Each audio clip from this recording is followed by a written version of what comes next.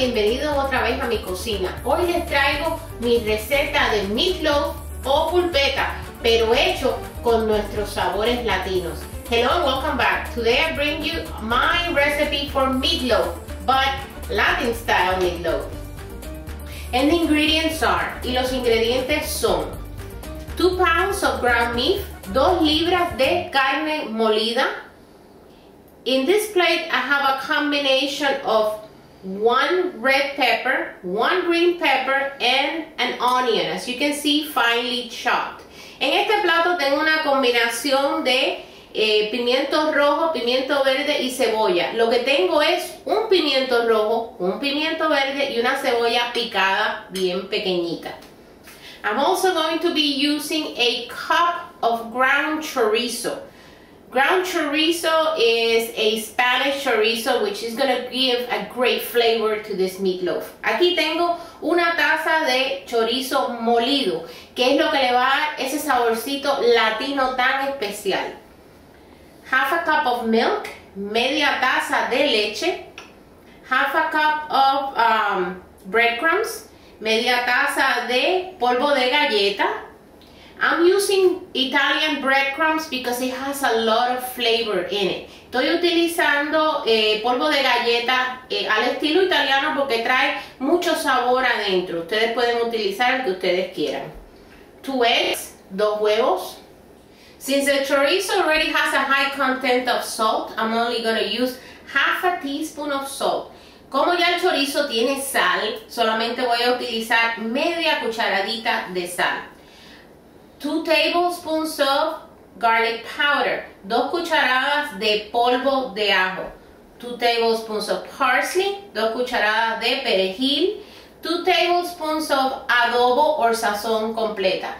Uh, dos cucharadas de adobo o sazón completa. Now, adobo or sazón completa is a Spanish seasoning that it's only a it's a combination of salt, pepper and different um, and a combination of uh, Spanish herbs. If you can't find it, don't worry about it because we have more flavors here that is going to help with this great meatloaf.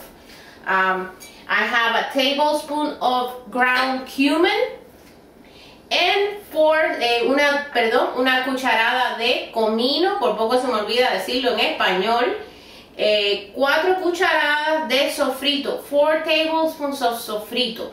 Sofrito is extremely important in Spanish cooking. If you don't know how to make sofrito, check out my recipe right here in my channel. Y si no saben hacer el sofrito, para las cuatro cucharadas que vamos a utilizar pueden chequear o ver aquí en mi canal mis recetas de sofrito. Al final voy a utilizar eh, ketchup, salsa de tomate al estilo americano porque con eso es que yo voy a cubrir el meatloaf o la pulpeta. And uh, for garnish, I'm going to cover it with uh, ketchup, which is going to give a great flavor and a delicious crust. The first step is to saute or fry the uh, peppers, the onion. I'm also adding here the sofrito and the salt. El primer paso va a ser freír, cocinar bien eh, los pimientos rojos, el pimiento verde, el sofrito y la cebolla, añadiéndole la sal hasta que todos estos vegetales estén bien cocinados y suavecitos. Lo estoy friendo en un poquito de aceite de oliva. And I'm uh, sauteing this in with a little bit of olive oil, maybe about a teaspoon of olive oil.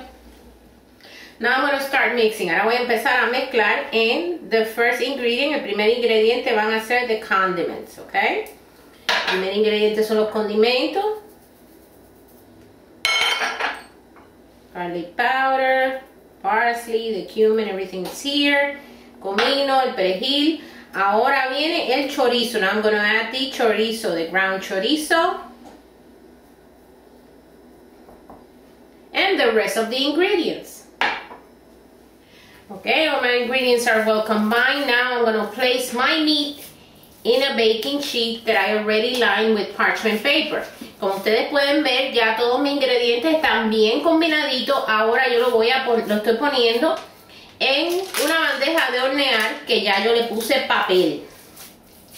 Entonces le voy a ir dando la forma. I'm to start forming my meatloaf, shaping it. Okay. This is to take out any air pockets. That way it won't break or it won't crack in the middle. Yo le estoy dando palmadita porque así le saco cualquier eh, em, eh, hueco donde haya podido haber quedado aire para que no se me rompa en el momento de la cocina, ¿no? Cuando lo estemos cocinando al horno. ¿Eh? Le van dando la forma que ustedes quieran. Y este es un plato que es muy versátil porque lo pueden comer con tantas cosas, con papas, con arroz y lo que les sobre lo pueden enfriar, ponerlo en el refrigerador y servirlo en sándwiches emparedados. This is a great dish. You can serve it with uh, mashed potatoes, with my potato casserole, or you can refrigerate and serve it in sandwiches. And it's also very, very, very economical. Y es muy económico. Now it's ready to bake. And I'm gonna bake it at 350 degrees for about an hour.